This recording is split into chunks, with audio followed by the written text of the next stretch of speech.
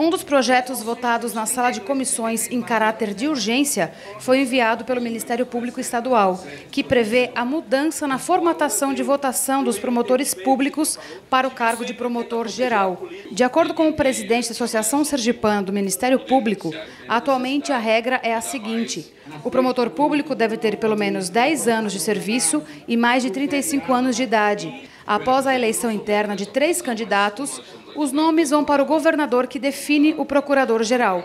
Com a mudança, só poderá ser candidato quem for procurador da Justiça e tiver mais de 15 anos de serviço. O presidente da associação, que é contra a aprovação do projeto, alega que dessa maneira apenas 15% dos promotores poderão se candidatar. Esse projeto representa um claro retrocesso para o Ministério Público de Sergipe.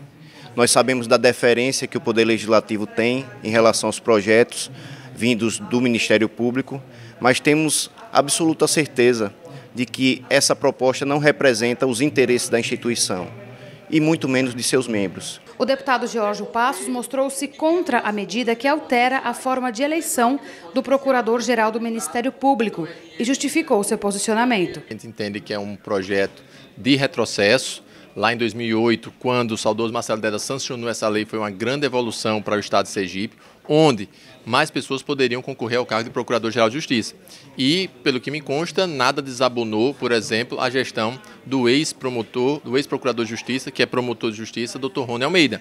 Ele fez o seu papel dentro daquela regra.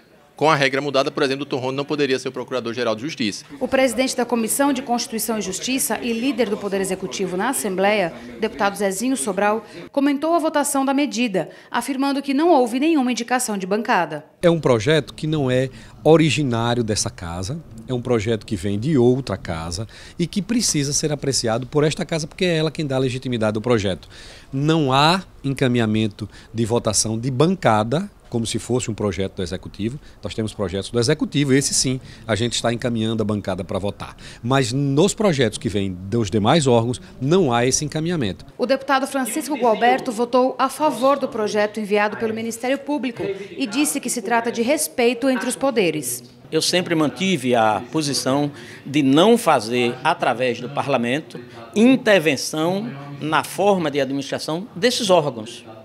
Ora, se vem para aqui um projeto que está dentro do orçamento deles, é, eles têm que ter liberdade para, da melhor forma possível, gerir é, a administração do órgão.